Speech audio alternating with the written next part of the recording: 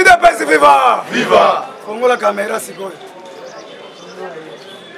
mwana mame hey. mwana mama ah. mambu maso masobele hey. ok mes chers amis tozoyebisa bino quelle que soit la longueur de la nuit le soleil abaritra tomoni kabale eza partout tozala vigilant tozala determine eh. bandeko na ngai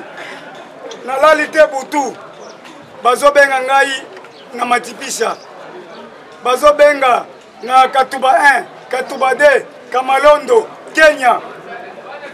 balobi insécurité totale belela kanambe politi mwana marcelina tonto mutuale ake kosala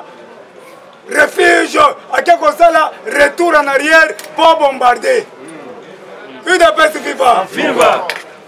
tozosenga na mokwa ntombolo mwa mai wakaninda levie mukishi koma ozotika moto ya campagnard akende kosala complot contre yo yo otiki ovandi nye hmm? la communauté internationale boza wapi guerre ya 4 jours ya pamba tomoni aeroport eye ekangi bemba eke na ye vrai ou faux vrai mais kabila so abomi kabila abomi bato ebele mais boza kaka rapport de mamping rapport rapport de mamping na kofinga yo mabe lumbe lumbe mwete mwete oyo ekoya communauté internationale rapport de mamping nakofinga bino mabe eh. ole boya bozolobelaka na mosika kabila abomi des espere hmm. vrai ou faux bakati catalan mike mike états-unis bakati bino mike mike eh. sharke bakati ye mike mike hmm. boza kaka rapport de mamping tala mamping tonton mamping nakofinga yo ma mabe ti lobi soki nayoki okiti te hmm. okolapa okozonga na états-unis hmm. rapport de mamping soki oye te tokobenga na yo eh. na peso 48 heures rapport de mamping bazo corrompre yo eh. mpo kabila abomi katala abomi jarke abomi mari lusambo abomi olange woshi ah. abomi mbunza mabe ah. abomi papa wemba ah. abomi nani mamadu ndala abomi bakombatan hmm. abomi abomi kongo mobimba hmm. atumbi bakombatan kabila asali 4 crime contre l'humanité asali crime de guerre crime contre l'humanité crime économique crime ya génocide à chaque crime 25 ans siko kabila a combien de temps 100 ans guantanamo mais avant kende na guantanamo tozosenga bolongoli ye na zamba botie na zo tozofuta 1000 franc 1000 franc 1000 franc congo mobimba toza 80 millions boya kotala l'homme qui a pillé ce pays hôtel bonjour kabila mbata ale obimi moko moko avant okende na guatanamo litama ekokoma ah, ah. mais trop c'est trop bato siko bazokufa biso tozotala lubumbashi ya l'insécurité totale mpo na motu moko oyo eza na mante finsalité ya solo mpe lisusu yaya tozala mobilise déterminé hmm. omoni bakabalo ezosalama sabotage ministre provincial aza il faut ezala interpellé mpo na marché central oyo bozomona bakangi batole bayibi biloko ya bamama bakwanga bazwi bakabelo mwana mwasi moko si bomonaki yawo kabelo nyonso ekei ya 15000 dollars nyonso oyo ngobila bafulu ngobila moyibi lelo marche eza lelo oyo ekoya oyo ekoya nasengi na bamama nyonso ya lutula nasongi na bato nyonso ya lutula eske ndoki oyo aza na mbaso ya kobeta ngobila na, eh? na matama eza aza te tala omoni nzambe mpe abandaki kosenga abanda kosenga moto ezokitela bato bato bazozika vrai faux il faut sodome gomore eh. batinda moto ezikisa bato eh. vrai faux pourquoi pas yesu masiya bokokitisa moto te etumba gentini ngobi nazosenga notre dieu eske oza likolo te otinda moto esikisa ngobila bafulu ngobila oyo abomisi bato 900 mor na yumbi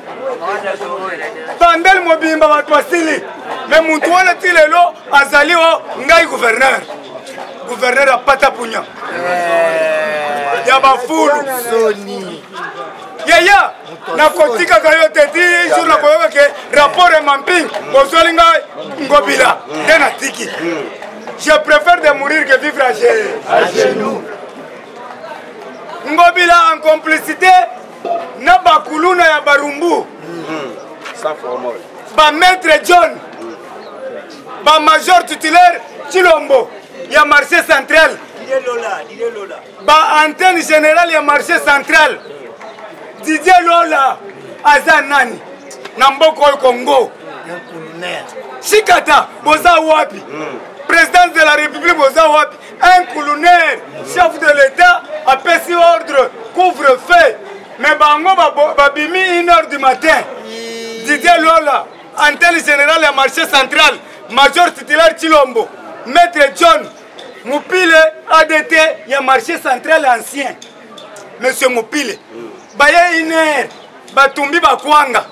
batumbi biloko. c'est crime contre l'humanité rapport de mamping mm. droit de l'homme eza na congo te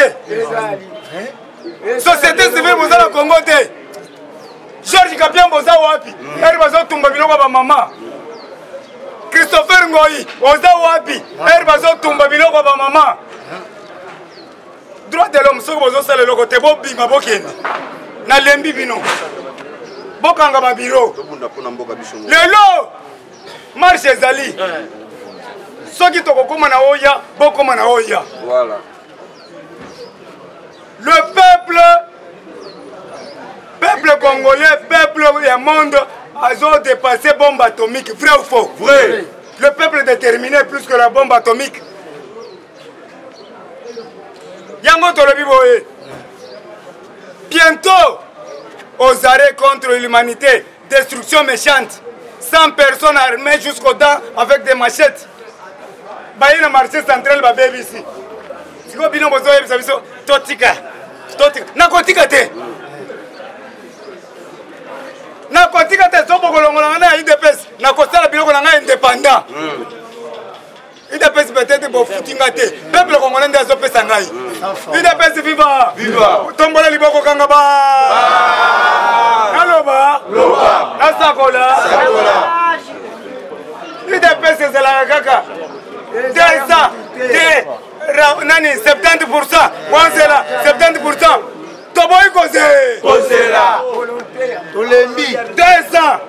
yo ozotambola bien yo ozolia biftek papa tisekedi wa mulumba le grand visionnaire yaye apesanga kamera siko naloba naloba loba nasakola sakola le grand visionnaire le grand mukishi etienne tisekedi wa mulumba ayebisi biso le peuple d'abord atiki boulangerie ya monene atiki boulangerie ya monene alobi mwana nyonso il faut bapesa lipa na ye ya monene ya monene batieli ye mwamba alia bino sikoyo bozwi boulangerie bokangi yango kati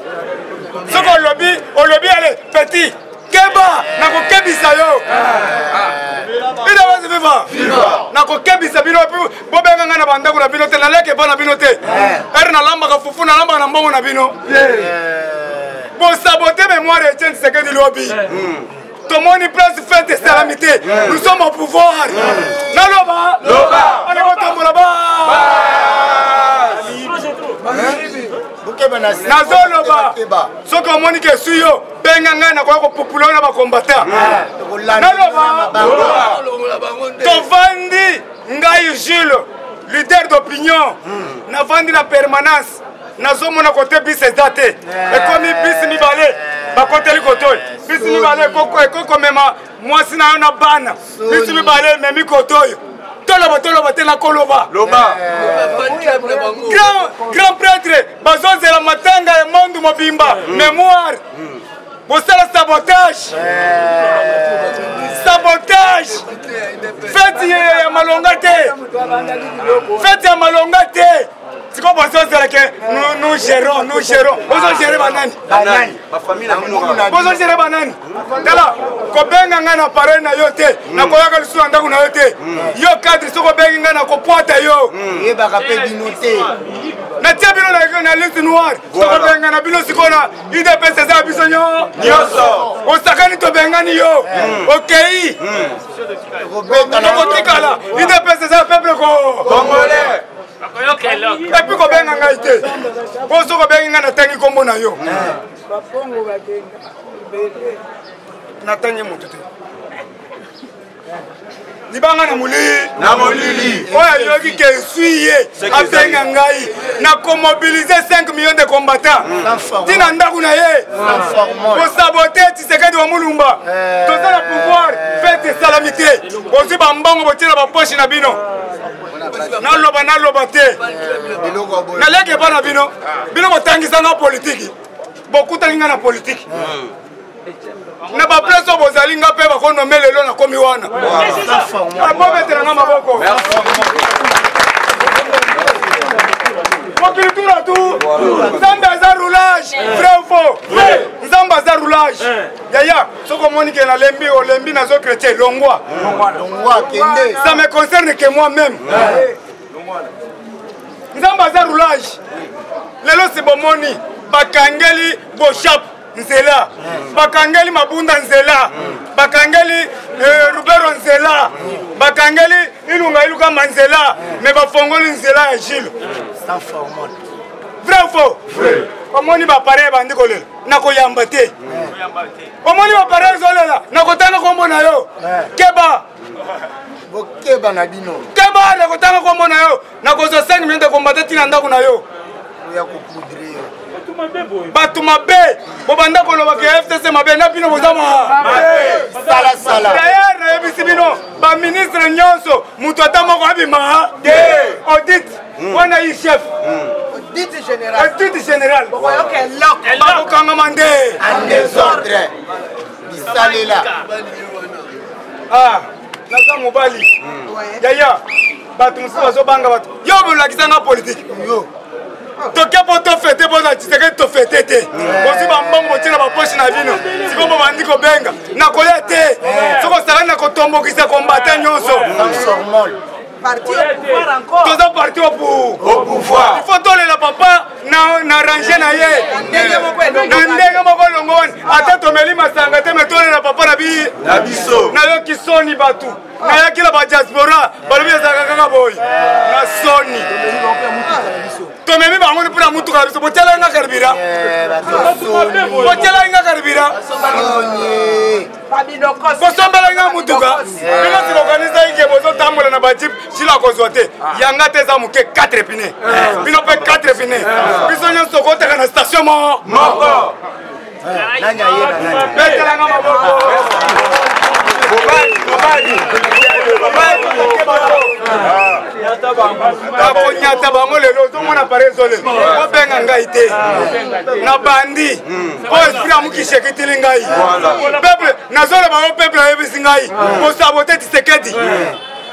toza au pouvoir il fallait bato balia bamela basepela biso kaka mawa mawa kaka kokabola kokabola empire tozokabola empire trois personnes ti lelo desa au pouvoir bozoloba ke toloba te garde secret nakogarde secret mosala ngai eza kodenonse lelo nalamukeli bango bakotela komona ngai epai na bango te bantivaler bakoyoka eloko muteji muteji papa moko imagine bino nyonso papa moko nazobelela yawa nkombo na ye muteji na lubumbashi papa wana azalaka kanda asubaka na bilamba colonel mikoyo mikoyo azosuba na bilamba ayebi français te ayebi lingala te ayebi kaka katange aza katange muteji wana azokata katanga azoke recrute colonel wana bazobenga ngai aza ye na major lucien bazwi bamini nyonso ya kakanda réserve stratégique nyonso ya chef de l'état bango bazwi yango na balibanais bazobimisa coltan bazobimisa or ezokende sikoyo mboka yango towelela kaka zando ah. tozowelela kaka bakwanga Pas distraction, muteji, muteji colonel ya pamba akangi kakanda, ah. akangi ba mini nyonso. Mais biso tozala shikata. Un illettré, oyo aza kaka mikoyo, mikoyo. Koko, mais akangi katanga nyonso. Bazobenga ngai. Nabeleli na lembi. Nabeleli na lembi. Nalembi déjà. Awa tozokende. gouvernement ya zoe interpelle si bainterpelle mpo na nini balobi vendeur ya coltan coltan akosakana te na deux ans oyo asali milliardaire ye atekaka kaka coltan bachinois baza kuna ebele bazolala na kati ya bazamba baindien me biso awa bakombata ti lelo bozela kaka bazo engage na onatra te bazo engage yoka yaya botika ngai naloba ezokukula hmm. omoni so batikeli oyo yo kobanga hmm. tika ngai naza na esprit ya mokishi hmm. ngai nayebi nde tokokutana na bango e tokokutana na bango olobi nalobi obeti na beti mais yo te ngai naza na esprit ya mokishi nga naza wana bwanga bwa mbuka oyebi bwanga bwa mbuka nalimwaka soki nake na ndako na ya komona yango udps viva pele fander de coltan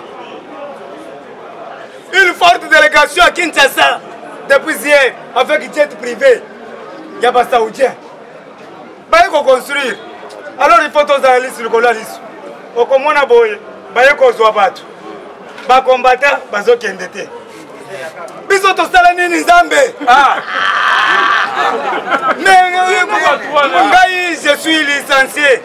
en gestion financière na iec nayebi comptabilité la méthode de l'ifo fifo entrée et sortie de marchandise okomi moyen pondere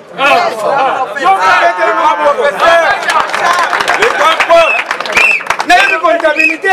en article d'exploitation nayebi histoire l'empire luba etant fondé par kongolo mwamba un héros légendaire qui a groupé plusieurs villages kongolo mwamba avait trois enfants deux garçons et une fille luenji par la méchanceté des garçons on a donné le pouvoir à luenji luenji se marie à ilunga tibinda qui apporta l'organisation de luba shelunda est-ce que biloko yango nazoloba kabila ayebi yango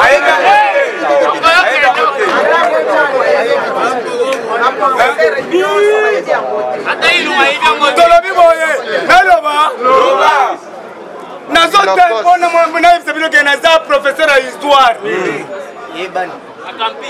nazoyebisa bino yoka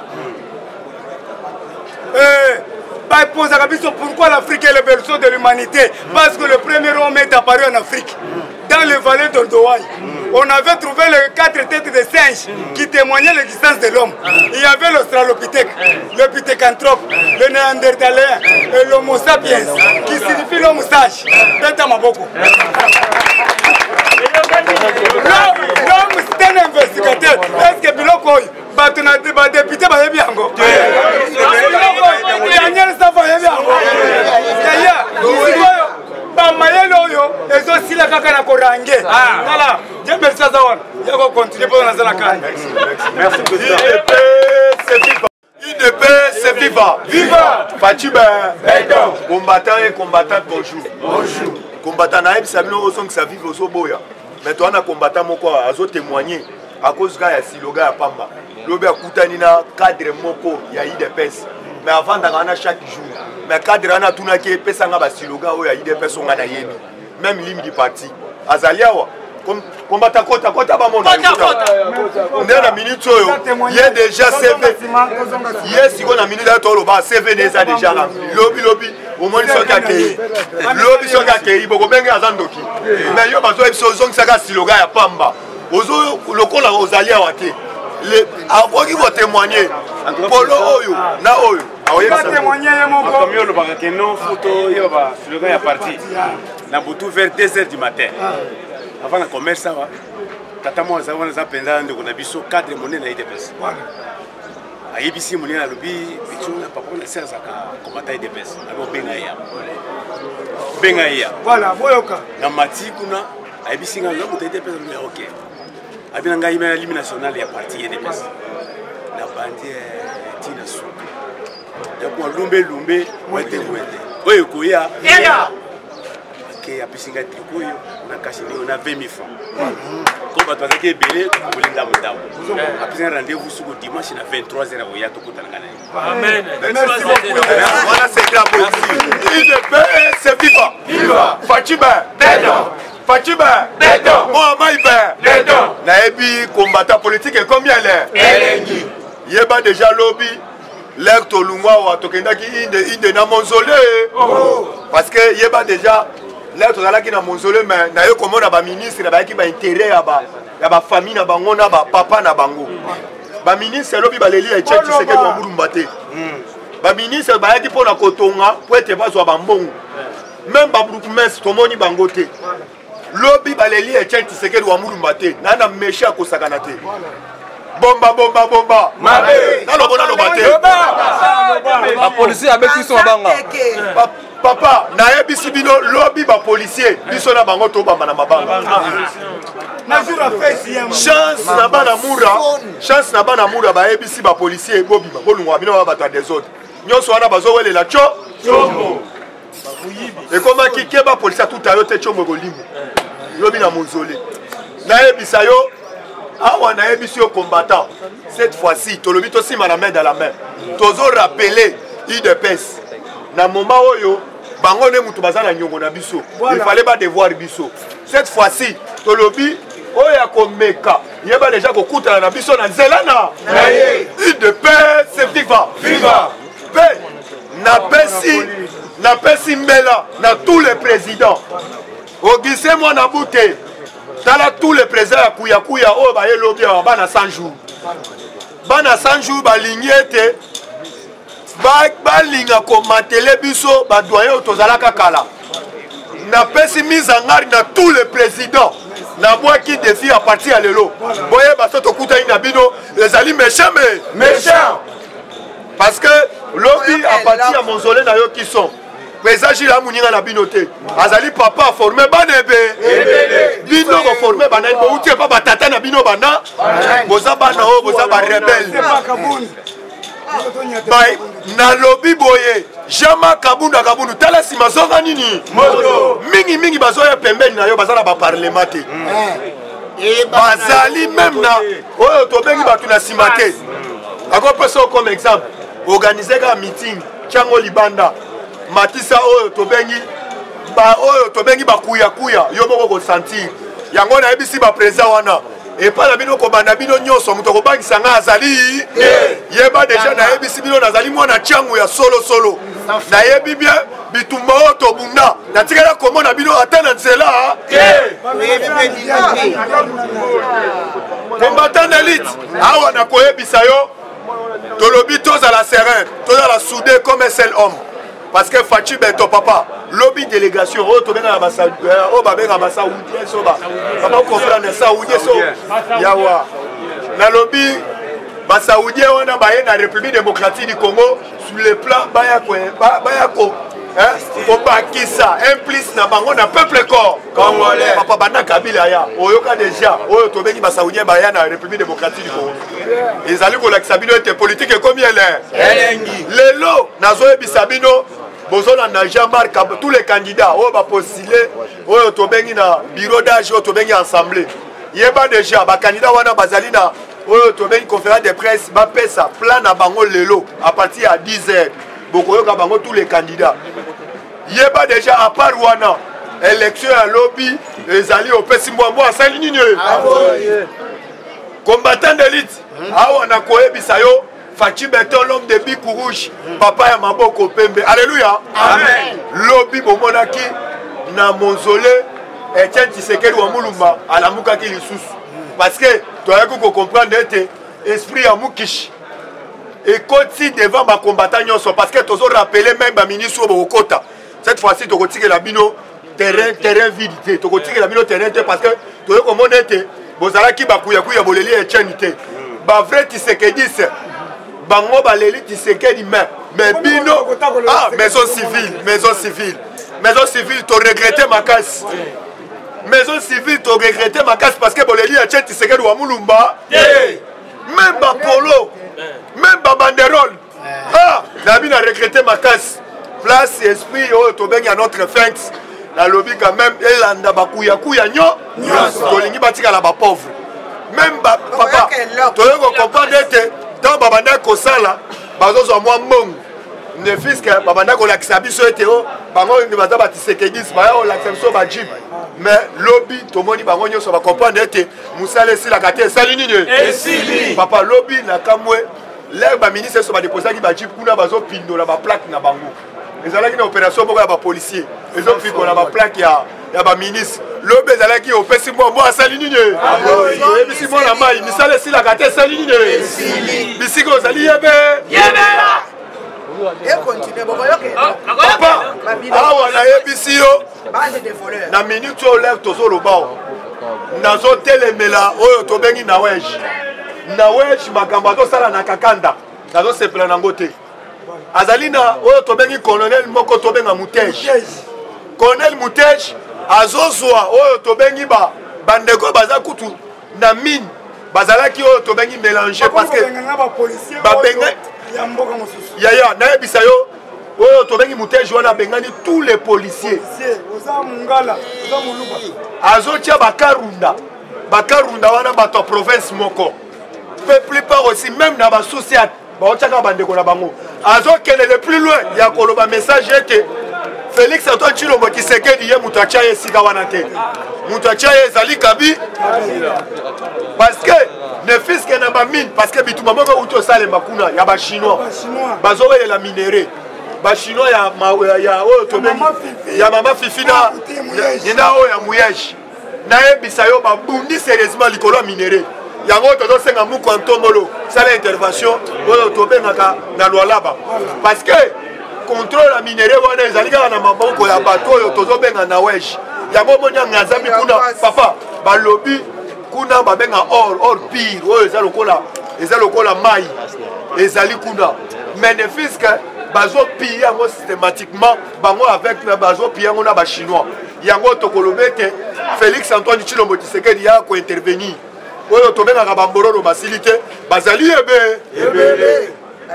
yaya nayebisi bino awa tozoloba awa union sacré union sacré yeba déjà na minute oyo toza déjà dans les bon parce que bowute koyoka bino moko oyo tobengi gouvernement oyo ekobima ya baministre bakobima bakozala plus de 30 mais baministre wana bakobima mais il fallait koyeba ete lelo faci devant oyo tobengi monde mobimba deja yao tozolobawa asimbi oyo tobengi bateau de commandement makambo oyo bakende oyo toke ba autorité morale oyo kingani autorité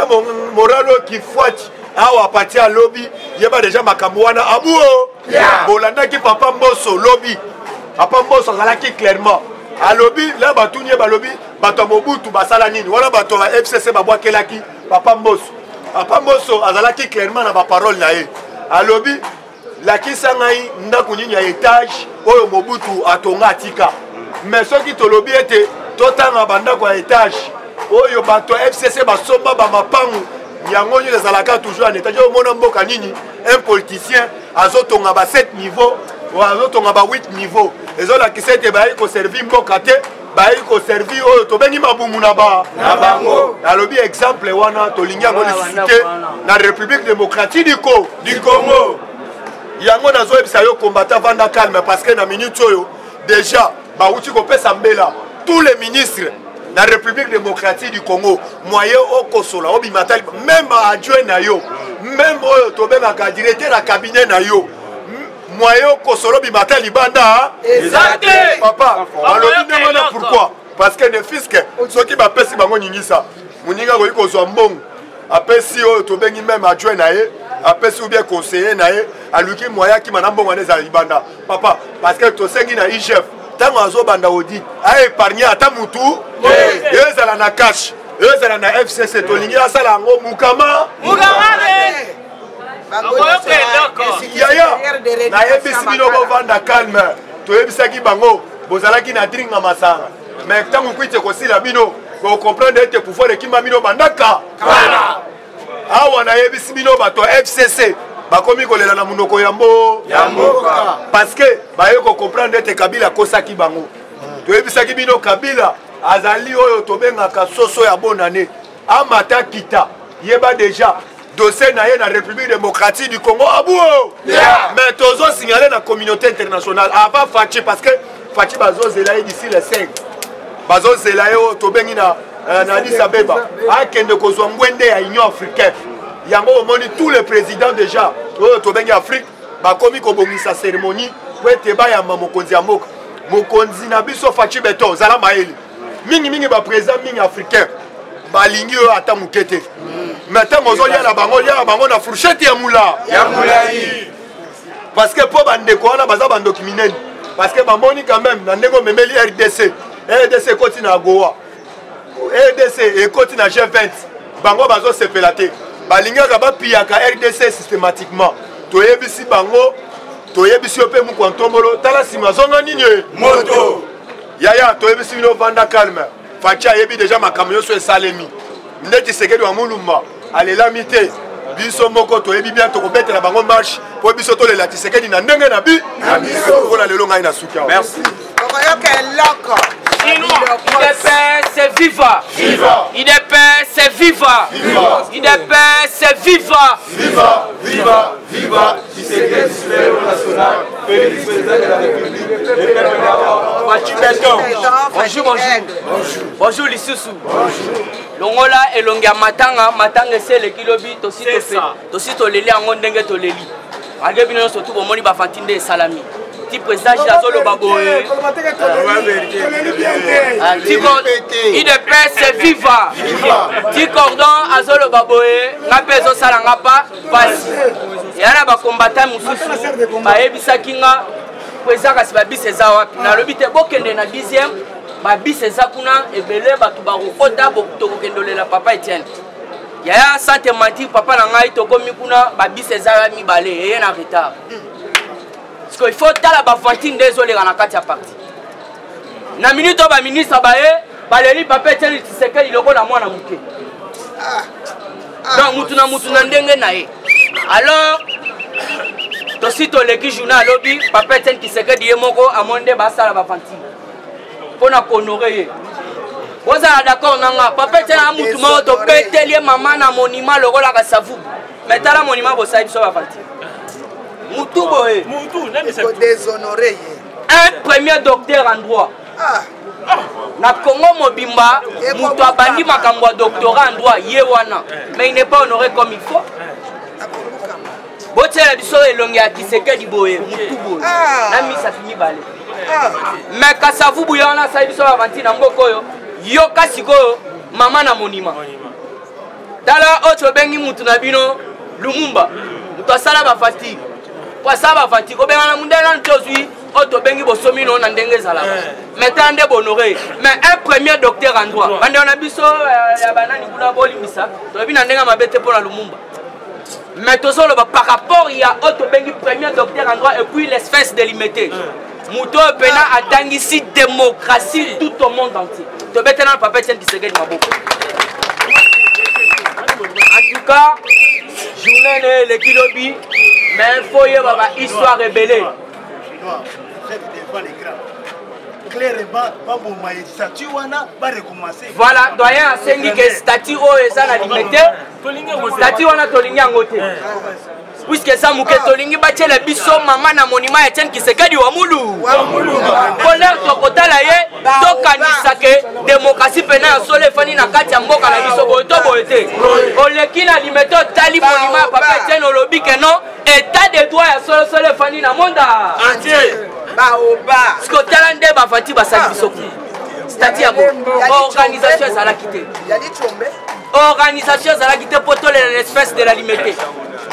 en tout cas ah. toleki wana me manifeste sikoyo elongi ya sengo puiske matanga elekaki lobi moto aleli papa etienne kisekeli lobi kitoko c'est toujours facibe nde moto honore papa na ye comme il faut puiske fo botala nde moto azolela papa na ye aye mpena na esprit mobimba ayebi ke non esprit oyo eza esprit oyo ngai nazali na yango yango na omoni azalaki wana epuis pour votre information alongwaki wana asenvole ake mpo na egypte faut oyeba pourkoi ake na egypte e après egypte akokende wapi facibe en tout cas tika nanu tokumisa mwana mobali oyo babengaki ye pantin babengaki ye placebo babengaki ye marionnette français wana nyonso tu tozomanke yango bamikolo oyo ifo babanda koyebisa biso yango fati aza marionnette eh, kabila aza donc kabila aza kodirige à travers ye donc aza donki kaka étiquette ya pamba elelilingi ya pamba lelo elilingi ya pamba ye wana sikoyo na minute oyo akangi kongo mobimba nde na banda koyebisa bino signatire ya suka ezali na maboko ya fatime ah bokoyoka tokobeta masolo kabila en difficulté na kashimat yango wana oyoki meme bato oyo achangea na coordination na ye ya fsoso bato wana bazalaki resi te kabila falaki ayamba emen koimuke na moto apesa ye nationalité puisque quand kabila est venu atuni banotable ya katanga comment est ce que vous pouvez m'attribue euh, oyo tobengi identité nakoma originaire ya katanga batuni ye ya solo eh, oyo toza mibale tozalaka mapasa mapasi oui mais mapasa wana soki otali bien oyo na manono oyo abotami soki na likasi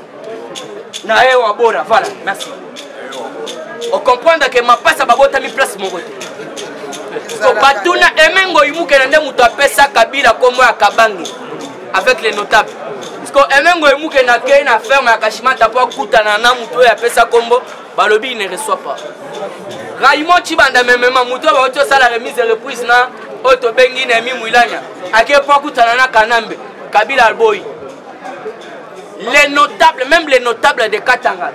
n'étant pas bazalaki resi te epa kanambe voir même bajeune ya, ya idp eh, ya ppd ya fsoso oyo bakendaki mpo barendre oyo tobengi soutien na bango kabila boyi qu'est ce qui se passe puisque déjà toyebisaki bino asalaki tinel déjà place azali na ferme ya kashimate na kashimate kuna eza pembeni na parka ya oyo tobengi kunda elungu siko paka wana donc kabila alingaki sikoyo asala nzela actinel moko moindre pepe akota na zambie alors qu'est ce qui se passe ozawa ozolanda biso oyebi te c'est Fatih Béton, c'est Fatih Béton, Antoine Kisekedi Chilombo, nde moto ayebisi kabila ke non longwa na kinshasa na ferme na yo wana ya kingakati soki orésiste kuna soit tu seras assassiné soit tu seras arrêté soit tokozala humilie nde yango nomonaki ya loin tobetelanaokoyoka eloko yango wana toyebisaka bino faci mikolo oyo azwi systeme ya bibotu boye to boye te bibotu ezobetama kabila moto ayebisi ye ke longwa kende na lubumbashi eza félix antoine kisekedi cilombo alobi longwa na ferme wana epuis bientôt ifo bosenga to récupéré yango mpo bozwa misala ozwi ferme wana tozo exploite yango ekotisa mbongo na trésor public yo kozala ya kofutama tala paster eveke muku na komi osenga yango paster muku nazosenga kingakaifaut bocomprendre ke ndenge ezala na biso mpe toza na mposa to exploite yango boye to boye te bokoyoka eloko toujours na kati actualité politique le sénat convoqué à son tour une session extraordinaire ce mardi lelo toyebisaki bino thierry kasereka basali ye nanu mwa je alors il faut bocomprendre ordre du jour eza nde nini puisque sabo thierry kasereka tour na ye ekoki semaine oyo ekosila puisque awa nde babengisi bango point du jour eza nanu moko ya bavote oyo tobengi examen d'adoption de loi ya kocreye zone libre d'échange après avoir créé zone libre d'échange bango moko basénateur bakosouleve point que non toza déjà na septante signature ya ke yo tambo mambolonga nde ndege ekoleka nakongo na polise parole te félix antoine kisekedi chilombo s'est envolé pour égypte après égypte puisque na égypte kuna il faut boyeba ke non bango balingi baya mpe awa basala oyo tobengi uh, relation bilatérale yaya nazoyebi so relation bilatérale eleki ebele saudienne bauti oyebisa bino eh. un homme d'affaires saudienne ayaki akutani na félix farafara ayebisi ye ndenge ezana na 2019 eh, na 2018 nakutanaki na kanambe mais ça n'a pas pitenu siko namoni volonté oyo oza nango na kati na yo makambo oyo ngai nalingi nasala na république démocratique du congo yango wana ifo yo moko lelo avant kende matanga to signe ya yango nde basignaki ava félix akende oh. alobi papa kokende nani matanga te nayebi programme na yo te hmm. homme d'affaires saoudien toujours na kati ya actualité politique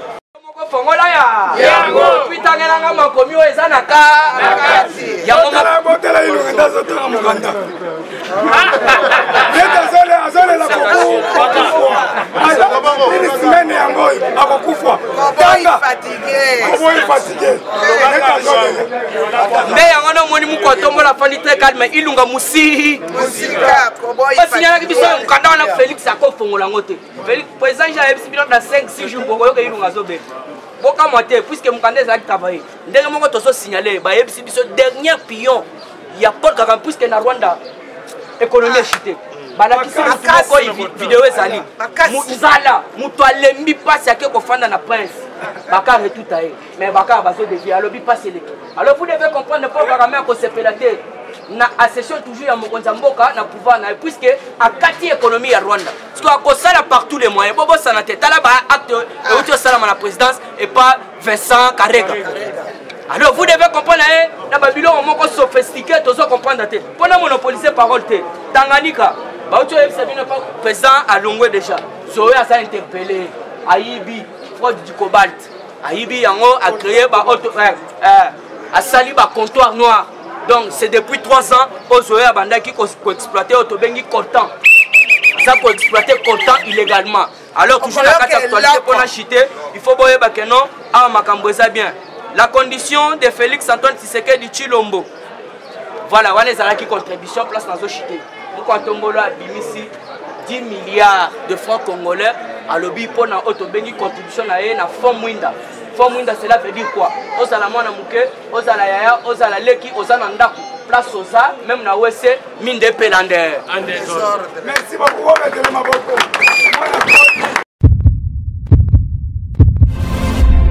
Eshima, votre magazine qui bat au rythme de l'actualité. Une réponse à vos besoins en information, un éclairage dans divers domaines. Impartial, documenté, instructif. Eshima au cœur de l'info.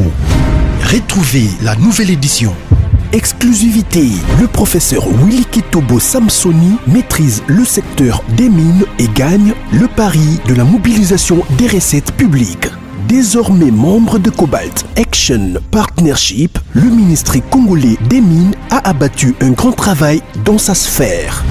contrôle régulier de l'application effective du nouveau code minier. loi sur la sous-traitance et paiement de la rétrocession due aux entités territoriales décentralisées, ouverture et attractivité du secteur des mines aux investisseurs, relance des entreprises du portefeuille de l'État, le ministre Willy Kitobo assure le suivi et contrôle technique des activités minières sur toute l'étendue de la RDC. Focus, augmentation de 66% des recettes, le directeur général des impôts Barnabé Mwakadi Mwamba, en technicien avéré, impulse les performances de la DGI. Dossier Eshima 2021, année des tous les enjeux. Nation, Hubert Miimi Mouawa, directeur général de la Sona Hydroc, présente ses voeux de nouvel an au président de la République et sur la rétrospective 2019-2020 du ministre Thomas Louaka, un mandat placé sous le thème du redressement du système éducatif du supérieur. Agence de prévention et de lutte contre la corruption, un casting à refaire. Économie Eshima Magazine revient sur les commerces générationnels en RDC. Retrouvez l'intégralité du magazine Eshima dans les kiosques. Eshima Magazine un nouveau standard d'information.